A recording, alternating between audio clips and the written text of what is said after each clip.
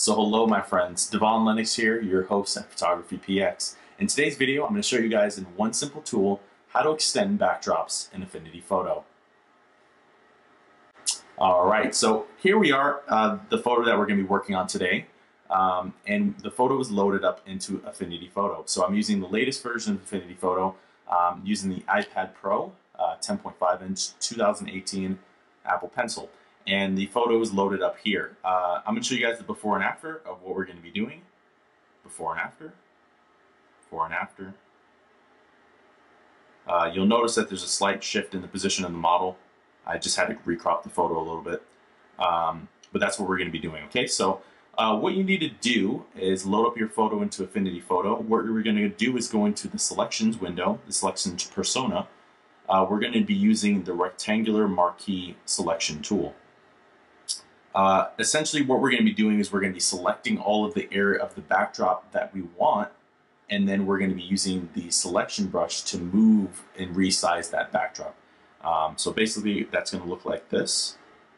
Uh, right, so rectangle marquee, go from the bottom to the top. Uh, give me one second. I'm going to reload the image. Uh, Affinity Photo, for some reason, whatever, uh, it sometimes doesn't show you the marquee selection. So we're just going to kind of scratch that. Um, and we're just going to do this. Okay, so now you guys can see the marquee. Um, we're going to go into our move tool. We're going to use these little handles right here to extend the backdrop. Boom. And then we're going to do the same exact thing for the opposite side, marquee selection tool.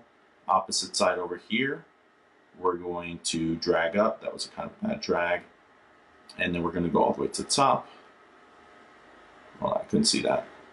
Uh, you have to be kind of careful that you uh, you don't do the selection and, and actually touch your model because if you do, it's going to resize.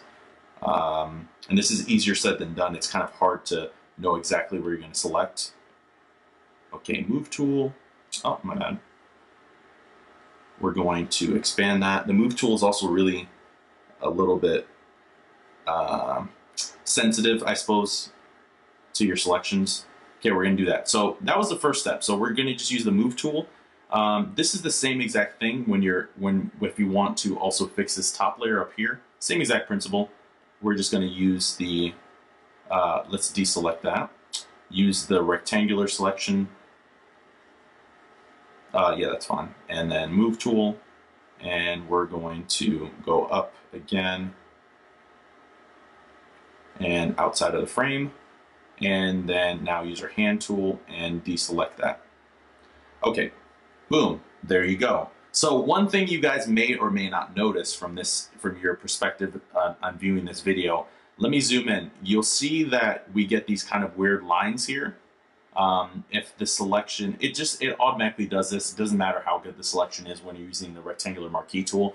Uh, you'll always have these weird uh, lines right here as it basically uh, tries to transition between the pixels. So how you fix this, you go back over into the, the uh, photo persona and you just use the inpainting tool. You set the width to uh, roughly 25-ish pixels and then you just do that. And then you do that across the entire line um, and you just go all the way up. Uh, I just normally set it to something larger just so it's easy just because I want to do it quick. Um, but essentially, that's all you do, and that's how you get rid of that line right there. But I do want to put that on your radar when you're doing this particular technique. You will always get that line 100%. Um, it always will do that. But suffice to say, that is how you extend backdrops in Affinity Photo. The final result will look like this, where I just kind of cleaned up the lines. I cleaned up the lines and I uh, fixed up the backdrop just a little bit. Um, but yeah, uh, that kind of uh, yeah, I, that's that's all I, I, wanted to put on your radar. Another another technique in your quiver. Uh, make sure that you guys are well equipped to tackle all the situations when it comes to editing. Um, this is applicable to both studio photography and outside. If you just want to extend something, this is one way to do that, depending on what you're shooting. Uh, great technique to do that. So I just want to put that that tool in your quiver belt so you can have one more arrow to, you know, slay those uh, those photo editings, so you're not a little bit you're a little bit less overwhelmed. Um, but as as always, uh, if you like today's video, hit us up with a, a like and a comment down below. If you have any particular questions that we have the ability to answer, uh, leave that in a comment. We'll make sure we get a video specifically tailored to your needs. If you haven't subscribed already, please consider subscribing so you can stay locked into our channel. Uh, again, I'm Devon Lennox, at your host at Photography PX, and we'll see you in the next one. Peace out, my friends.